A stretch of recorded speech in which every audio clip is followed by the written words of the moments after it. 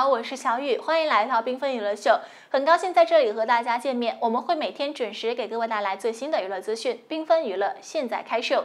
人不在江湖，可是江湖到处都是他的传说。如今在娱乐圈衡量一个明星的影响力，不仅仅是自身粉丝基数、活跃度、各项榜单的排名，更有超强的自身带货能力。直播带货的兴起，让一众明星投身到直播带货的大潮当中。可是有的人不用直播，单单露个脸或者公开品牌物料，就能够让货卖脱销。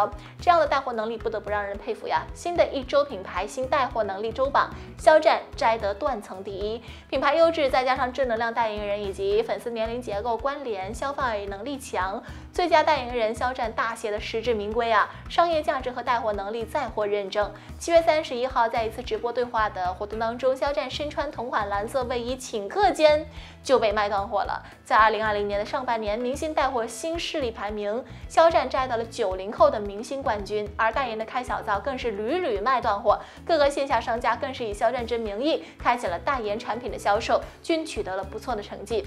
对于肖战来说，自身的带货能力是一流的。当然，我们也看到了在南方洪灾。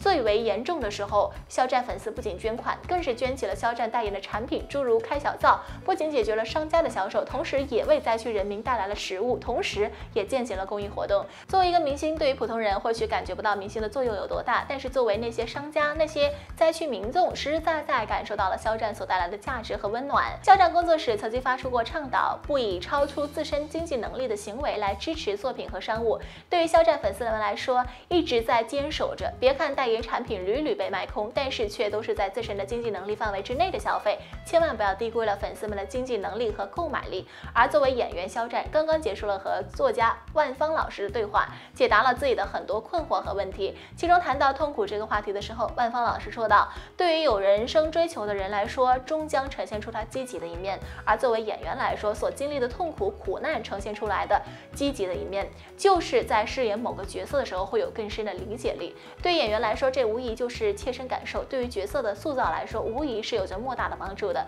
从饰演到真实表现，这才是演员的最高境界。而演员肖战无疑就经历过这样的时刻。从《狼殿下》开始，肖战就是在经历着转型的痛苦，日月的训练。日夜的训练、拍戏、学习，让他度过了最为难熬的时光，但同时也收获了更多表演经验，这些都对后来演戏起到了莫大的帮助。《陈情令》《余生，请多指教》都让他在戏中得到利用。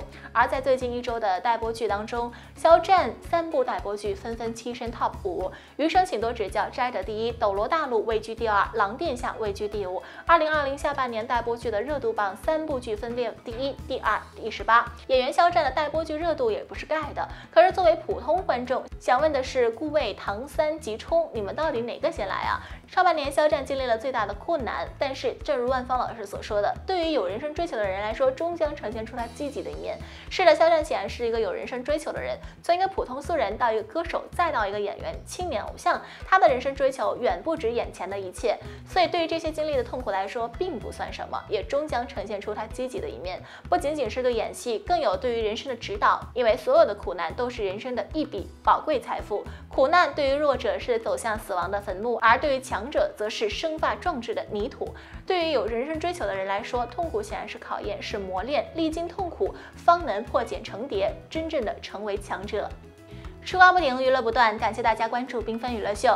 如果您喜欢我们的频道，请给出您宝贵的赞，并且记得订阅我们的同时，不要忘记了点亮订阅右边的小铃铛，这样就可以在第一时间收到我们的频道内容了。我们下期节目再见吧，拜拜。